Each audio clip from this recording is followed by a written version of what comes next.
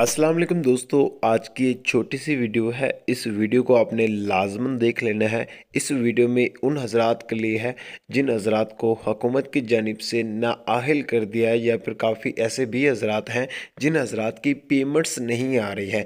तो उनके हवाले से हकूमत की जानब से और बेनज़ीर इनका सपोर्ट पंप के ऑफ़िस में एक नया पोर्टल लॉन्च कर दिया है। उसके हवाले से एक वीडियो लॉन्च हुई है। उस वीडियो को देखें और अपनी कीमती राय का इजहार कॉम बॉक्स में लाजमी से करें। आप सब खैरियत से होंगे। तो आज मैं आपको इस वीडियो में बताऊँगा कि बेनिफिशरी के पैसे क्यों नहीं आ रहे।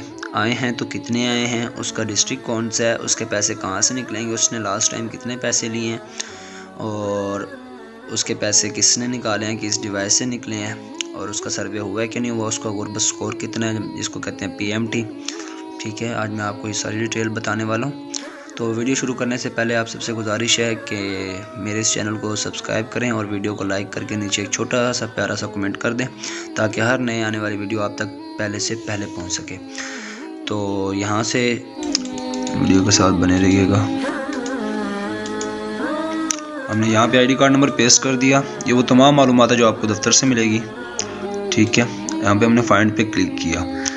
तो सबसे पहले इसने कब अहल हुई वो डेट आ गई? इसका नाम आ गया, इसका डिस्ट्रिक्ट आ गया, इसका घर वाले का नाम आ गया, इसका एड्रेस आ गया, जो भी है, ठीक है? और इसकी तहसील का नाम भी आ गया। उसके बाद यहाँ पे इसको जो जो पेमेंट मिली है, इसने लास्ट टाइम पच्चीस हज़ार रुपये लिए हैं, ठीक है? इसका पच्चीस हज़ार लिए हैं, उसके बाद पंद्रह पंद्रह सौ लिए हैं, दो हज़ार लिए हैं, फिर पंद्रह सौ लिए हैं, फिर चौदह हज़ार लिए हैं, तीन हज़ार लिए हैं, बारह हज़ार लिए ये इसकी सारी ओल्ड पेमेंट स्टेटमेंट आ गई है, ठीक है?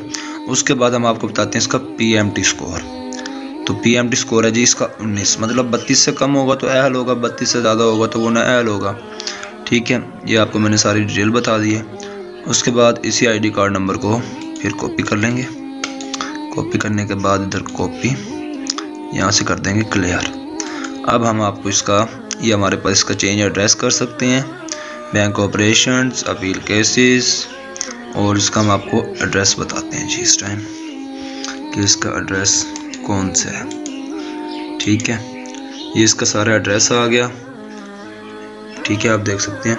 Government Mohammad Kasim union council name तहसील फार्म नंबर डिस्ट्रिक्ट नंबर ये सारी इसकी डिटेल आ गई। ठीक है?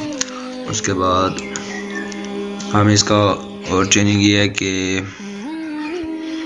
बेनिफिशरी सर्च कर सकते हैं। इसने अगर कोई कंप्लेन की हो तो वो भी आ जाएगी। तो यहाँ से आपको तमाम मालूम दे दी जाएगी। नीचे मैं अपने एक ग्रुप का लिंक भेजूँगा। उस ग्रुप को ज्वाइन कर लो और जिस भाई ने इस तरह की मालूम बजरिया स्क्रीनशॉट चाहिए, वो भी आपको आपके व्हाट्सएप पे मिल जाएगी, जैसे कि मैंने इधर सेंड कर रखी है। ठीक है?